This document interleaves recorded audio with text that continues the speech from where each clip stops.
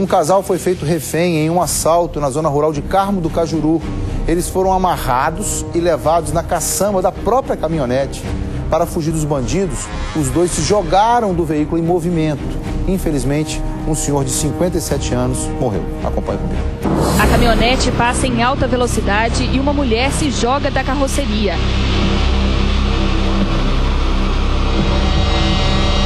Nesta imagem é possível ver quando um homem também cai do veículo e rola várias vezes no chão. Logo depois, a mulher se levanta e vai desesperada até o marido.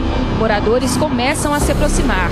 De acordo com a polícia, a mulher de 50 anos e o marido, Augusto Peixoto Filho, de 57, se jogaram do carro nesta avenida no bairro Cidade Nova, em Carmo do Cajuru, porque estavam tentando escapar de um sequestro. O casal seguia na caminhonete por esta estrada de terra, sentido ao sítio da família no povoado de Ribeiros. Era por volta de 5 horas da tarde. Ao ver um tronco caído na estrada, Augusto diminuiu a velocidade do veículo. Foi quando apareceram quatro homens que estavam estavam escondidos no matagal. Dois deles estavam armados. Segundo a Polícia Civil, os bandidos seguiram com as vítimas amarradas na carroceria da caminhonete por cerca de dois quilômetros. A princípio, a Polícia Civil acredita que não só o veículo seria levado, mas também possivelmente seria sacado alguma quantia em bancos aqui na cidade de Carlos Cajuru, bem como ainda eventual ida à, à residência deles para levar objetos também. José Roberto é primo do Augusto e foi um dos moradores que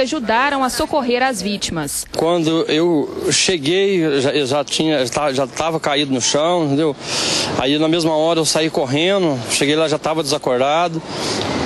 É, voltei muito rápido, peguei meu telefone para me chamar o socorro. A mulher sofreu apenas escoriações. Augusto teve traumatismo craniano e morreu no hospital. A polícia militar fez cerco atrás dos bandidos. O veículo teria sido abandonado próximo à igreja evangélica e que eles teriam entrado no mato, certo? Foi feito um cerco pela polícia militar, contudo não foi, não logrou êxito na prisão deles. Segundo o delegado, Lidiomar Gomes de Souza, de 34 anos, foi preso suspeito do crime. Para amigos e parentes, o sentimento é de revolta. Uma pessoa muito boa, um cara muito trabalhador, não envolvia com vida de ninguém, entendeu?